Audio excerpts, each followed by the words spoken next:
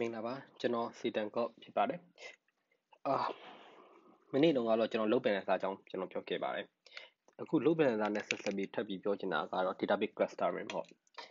မနေ့တုန်းကကျွန်တော်ပြောခဲ့ပုံစံအရဆိုရင်ဒီမှာကျွန်တော်တို့က load balancer တစ်လုံးရှိမယ်ကျွန်တော်တို့ကဒီ server တွေက load balancer အောက်မှာကျွန်တော်တို့ရှိမယ်လို့ပြောတယ်ဒီ server တွေအကုန်လုံးကို database နဲ့ပြန်ချိန်မယ်လို့ကျွန်တော်တို့ပြောခဲ့ပူပါတယ် okay ဒီမှာကျွန်တော်တို့ပြဿနာဘာလဲဆိုတော့ database ကိုကျွန်တော်တို့ဆက်ချက်ကြည့်ရအောင်တကယ်လို့ကျွန်တော်တို့က server ၄လုံး၅လုံးဆိုပြဿနာမတက်ပါဘူးတကယ်လို့ server တွေကထိရင်ထိရင်နဲ့ကျွန်တော်တို့က10လုံးတော့ဖြစ်သွားပြီဆိုတော့ထားပါတော့ server 1ကနေ server 10ဒီ10လုံးစလုံးကဒီ database ကိုလာချိန်မယ်ဆိုရင်စပြီးတော့ပြဿနာတက်ပါပြီ။ဘာကြောင့်လဲဆိုတော့ဒီ database ကကျွန်တော်တို့က horizontal scaling မဟုတ်ဘဲနဲ့သူက vertical scaling ဖြစ်နေတဲ့ database ကိုလည်းဟို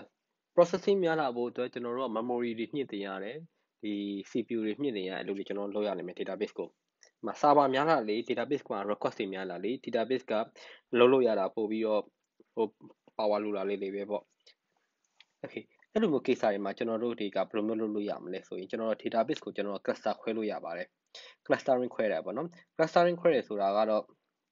ကျွန်တော်တို့ကဒီ database တစ်လုံးထဲကိုကျွန်တော်တို့ကဘာလို့ခွဲထည့်လို့ရလဲဆိုတော့ master database တစ်ခုထားတယ် master database ရဲ့ ကျွန်တော်အောက်မှာက chain database ပေါ့နော် chain မှာမှာအာ node တွေထဲကျွန်တော်ထည့်လို့ရတယ် clustering ပေါ့ node ထည့်လို့ရတယ် master database ကကျွန်တော်တို့ write ထားပြီးတော့အောက်က chain တွေကြောင့် node တွေကိုရောကျွန်တော်တို့ဘာထားမလဲ read server လေးထားလိုက်မယ်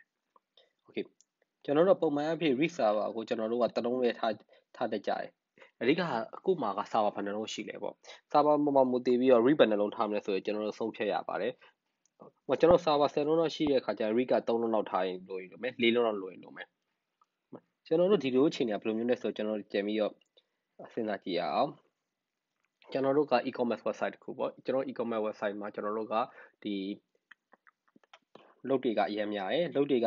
အာ user တွေကအများများတယ်ဒီကျွန်တော်တို့က sale ရှိတဲ့အခါကျတော့အဲ့ဒီလိုခါကျကျွန်တော်က server သုံးလုံးနဲ့မရတော့ဘူးသုံးလုံးနဲ့မရတဲ့အခါကျရင်ကျွန်တော်တို့က server ကိုဘယ်နှလုံးလောက်ထည့်လိုက်လဲဆိုတော့ကျွန်တော်တို့က9လုံး6လုံးလောက်ထည့်လိုက်တယ်အဲ့ဒီအချိန်မှာ database က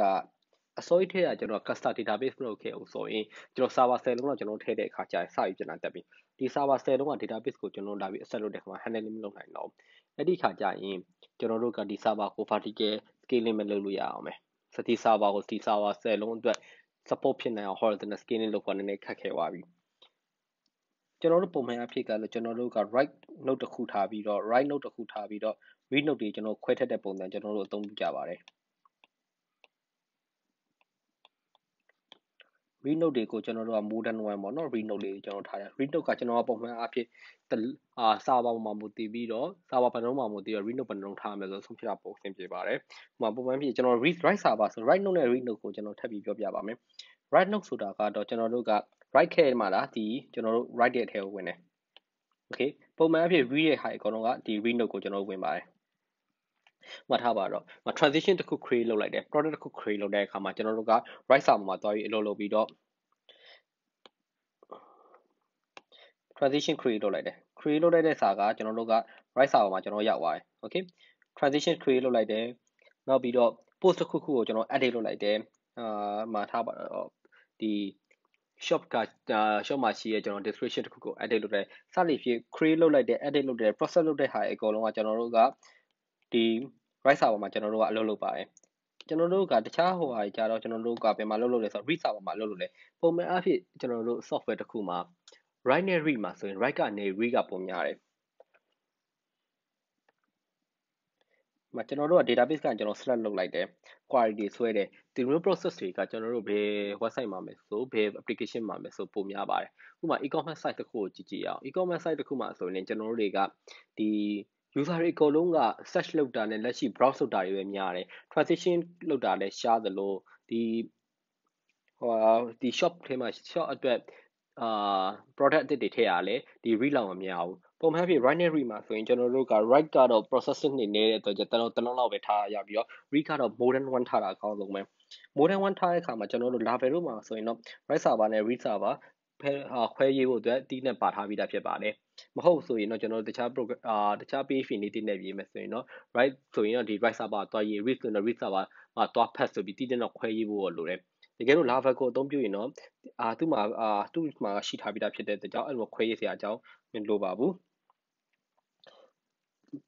okay ကျွန်တော် read server မှာလည်းကျွန်တော်တို့က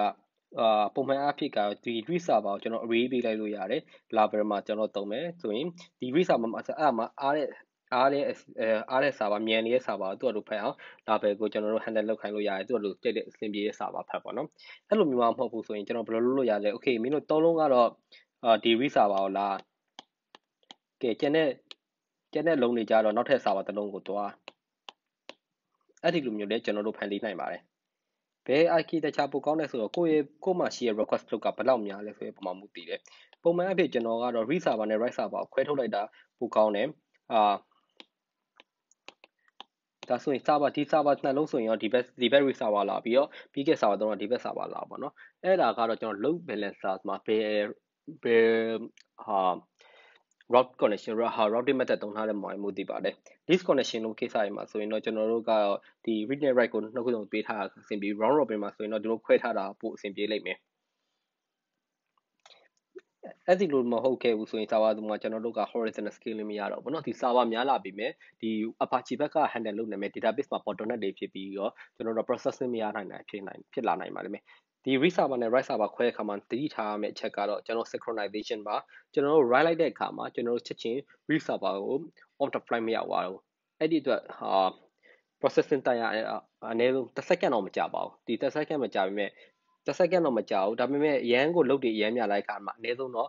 10 second တော့ကြာတဲ့အခါကြီးပဲရှိတတ်တယ်အဲ့ဒီခါမှာကျွန်တော်ဘာပြဿနာတက်လဲဆိုတော့ကျွန်တော်တို့က process တစ်ခုလို့ transition တစ်ခုကိုကျွန်တော် create လုပ်လိုက်တယ် transition တစ်ခုလို့ create လုပ်ပြီးတဲ့အခါ transition process ကိုပြီးသွားတဲ့အခါပြန်စစ်တဲ့အခါမှာ resolve ဘက်မှာဒီ transition create လုပ်ထားတဲ့ဟာမရောက်လာသေးဘူးအဲ့လို issue တွေရောဖြစ်နေဖြစ်တတ်တယ်ဆိုတော့နည်းနည်းသတိပြုဖို့လိုပါတယ်